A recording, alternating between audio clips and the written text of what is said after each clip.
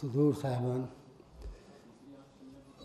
Professor Naseer Ahmad Khan صاحب، professor حمید سہروردی صاحب اور معزز حاضرین۔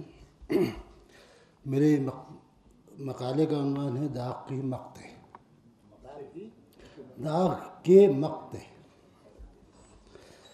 شاعر، شاعری کو شاعر کی شخصیت کا آئینہ خواہ نہ کہا جا سکے۔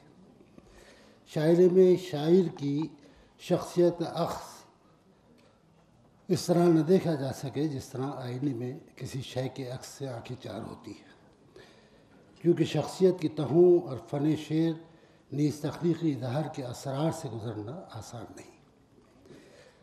شاعری کا میں صرف میں نہیں، بلکہ پورے معاشرے یا تمام ذات انسانی کا نمائندہ بھی ہو سکتا ہے۔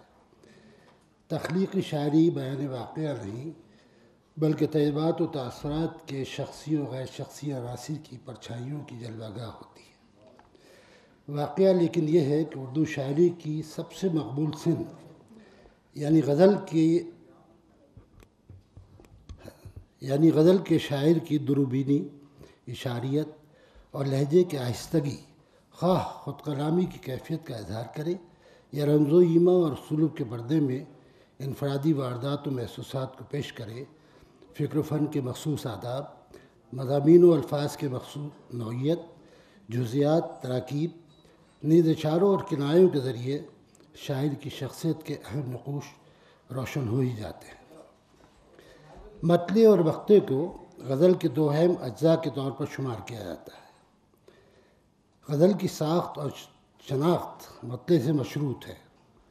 اپنے دونوں ہم قافیہ مصروں کے ساتھ اگر مطلع غزل میں موجود نہ ہو تو وہ فضا پیدا ہو ہی نہیں سکتی جو غزل سے مخصوص ہے، جس کا تلسم صوت اور موسیقیت غزل کے قاری و سامع کو اپنی گرفت میں لے لیتی ہے اور ہر دوسرے مصرے کا قافیہ اس کو آخر تک قائم رکھتا ہے۔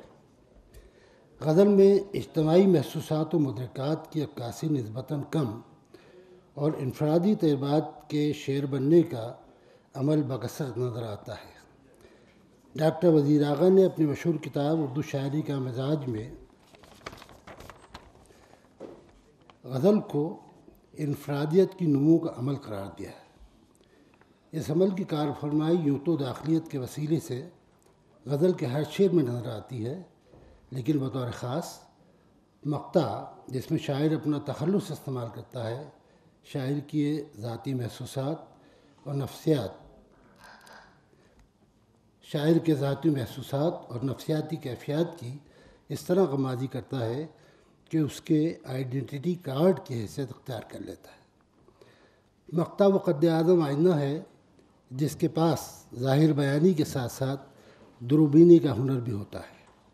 مقطع و تخلص کے تعلق سے بعض باتیں بھی سامنے، بعض ایسی باتیں بھی سامنے آئی ہیں جو دلچسپی سے خالی نہیں۔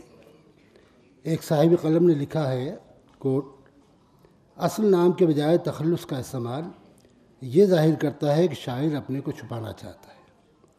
مگر واقعہ یہ ہے کہ وہ جتنا اپنے آپ کو چھپاتا ہے، اس سے کہیں زیادہ ظاہر ہو جاتا ہے۔